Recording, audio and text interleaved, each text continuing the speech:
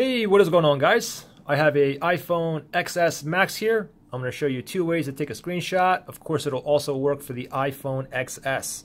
So the first way, the easiest way, is a two key combination. It's going to be the power button and the volume up rocker, okay? Press both, both buttons really fast simultaneously, okay? So one, two, three. Just like that. Again, I'll show you. One, two, three. Press and hold. Now the thing is, you don't want to press and hold because if you do that, then you're going to get this menu here where you can slide the power off your iPhone here.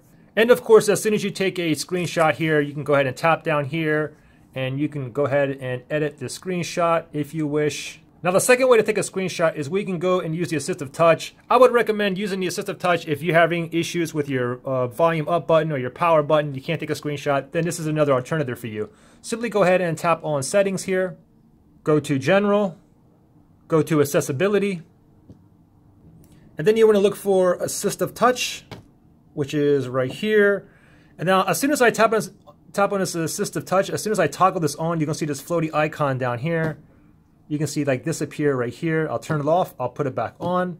You can see it reappear right here. Now the thing is, if I touch this, by default, it's on this menu right here. Now we need to make it so it can take a screenshot. So what you need to do is make sure the toggle's on, then go ahead and tap on a single tap here, and then we want to look for screenshot. See, right now it's on open menu. And now we want to change it to screenshot. So we'll change it to screenshot.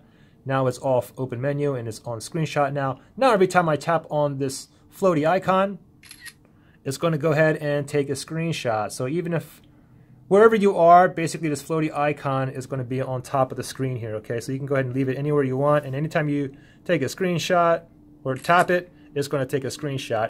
Now, of course, every time you take a screenshot, all the screenshot photos are going to be saved into the uh, Photos app here, Photos Gallery. Go ahead and tap on that app here, and under Photos, it should be the last photos on the bottom here. Or you can tap on Album here, and then you can look for screenshots, which is right here. Tap on Screenshots, and here's all my screenshots. So pretty simple. I hope that guys uh, helped you out.